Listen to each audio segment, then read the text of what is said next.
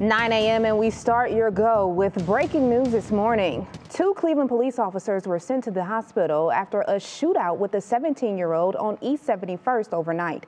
Cleveland Police Union President Jeff Follmer says the officers are doing fine and were not shot. They were sent to the hospital out of a precaution. So we'll be following this breaking news story throughout the day on air and online.